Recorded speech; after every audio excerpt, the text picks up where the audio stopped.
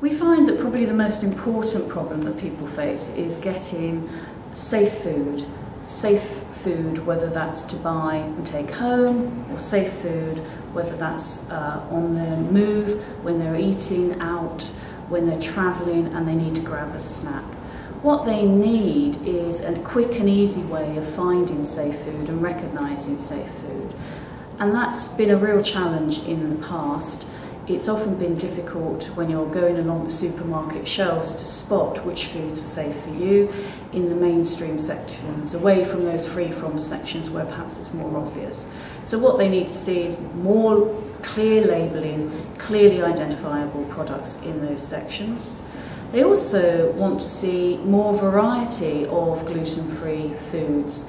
Um, so perhaps more ready meals uh, that might be easily available to people who are shopping in the mainstream. So there are lots of things that could improve people's lives uh, and then we're working very hard to help them do that.